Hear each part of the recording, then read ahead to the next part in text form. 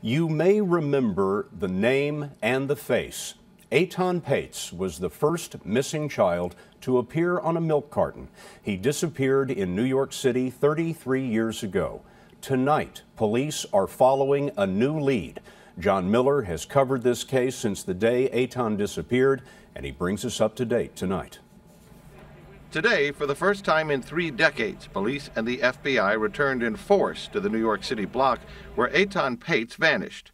New York police spokesman Paul Browne. We're putting greater emphasis on this location, looking forensically for any evidence of, uh, of human remains or clothing. Investigators intend to dig up the concrete floor in a basement that was once the workshop of Othniel Miller, a handyman who befriended the six year old boy. The concrete floor was laid just days after Etan vanished. Patz disappeared in May of 1979. He was last seen by his mom walking to a school bus stop by himself. The case tapped into the fears of every parent. It was one of the most highly publicized disappearances of a child.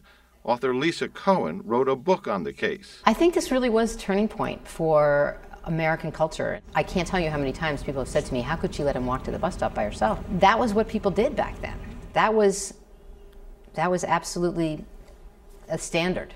And that was before Etan. And after Etan, everything changed. Images of Etan Patz were placed on milk cartons, and the case started the movement that led to the founding of the National Center for Missing Children.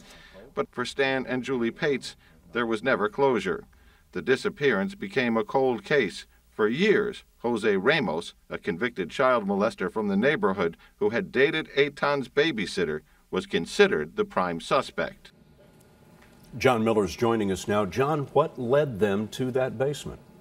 Well, this takes this case in an entirely different direction from the former prime suspect, um, Jose Ramos. And it's a couple of things, Scott. It's, there's a sealed affidavit filed in court.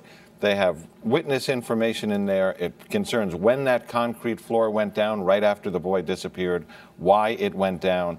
And another element is they brought in FBI cadaver dogs who did a search of that area. They've done some ground penetrating sonar. The dogs alerted in the area and they've seen some anomalies. So the collection of all these things gave them probable cause to bring to a judge for that search warrant. After 33 years. John, thank you very much. Thanks.